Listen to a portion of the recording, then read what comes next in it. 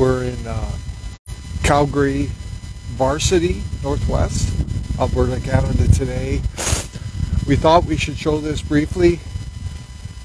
Uh, this tower over here, it's the highest power output we've seen to date. It's got three new antennas. Uh, they're 5G, ultra high, 4G, and they're operating over 12,000 watts, uh, 12,412. And we'll put up the data there, but what that's doing is giving the range of the frequency. It's already high frequency, operating at 3.5 gigahertz. So let's just do a quick reading. Um, but this is the highest we've seen. This is more than 12 times the power output. So it's not only the frequency, that's our message today. It's the power output, and this is a good example. I'll just show you right here. And then we'll zoom into what I'm talking about. And you see there, I'm just going to zoom zoom it in a bit.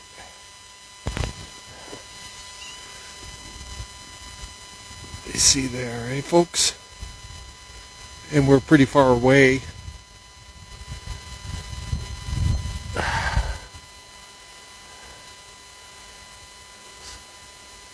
See that, folks? We're in an industrial residential area. And that's a senior's home over there.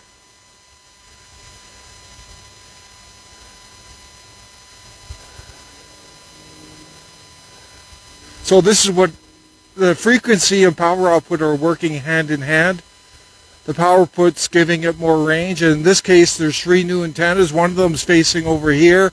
Two of them are to the south. And they're at 3.5 gigahertz. You see that right there, folks? So I'll just zoom in there quickly to what I'm talking about. And we'll put up some photos. But this thing is loaded. Absolutely loaded up there. And it's a, and it's a good example of what we're dealing with. I'll just move a bit closer so you can see. I'll just get up to this muster point.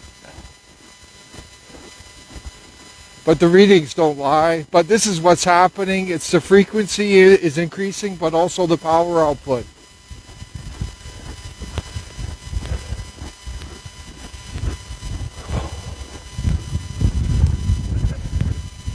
And I'm pretty far away, and look at the readings I'm getting.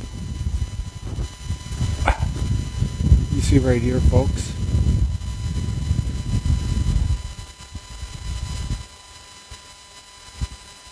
it's all loaded up there all the way around and then some on this one right here but these people are going to get it the worst over here like they're right right parallel to it